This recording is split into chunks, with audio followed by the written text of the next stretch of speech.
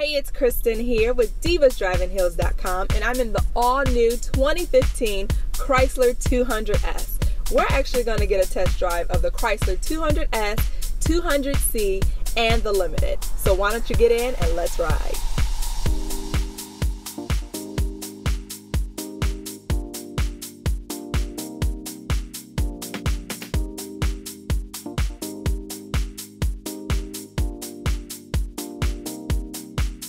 Hi, my name is Christian Farkas, and I'm the, the interior designer of the new 2015 Chrysler 200. Uh, I will take you through some of the interior features in this car. Uh, one of the, the things that we're really proud of is the center console. Uh, this is literally the centerpiece of the interior. It's the way we packaged it, and it's all enabled by what you see here, which is a, a rotary E-shift transmission. Uh, deeper inside, it's a 9-speed transmission, but what it means to the inside is this small tiny package and you can see it. This is the size of it. It goes a little bit deeper but ultimately what it enables is this space that you see here and it's open from the driver's side all the way to the passenger side.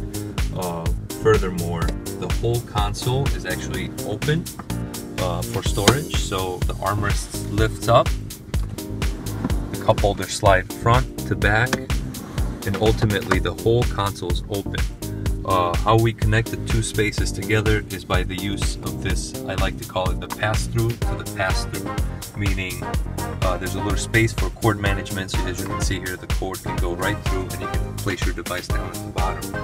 Uh, so that's the functionality, that's the innovation, but there's a lot of eye candy in here too that we that I'm really proud of, the whole team's really proud of. Uh, all the line work that we used, all the horizontal beautiful features to describe this new new Chrysler look that we're going after.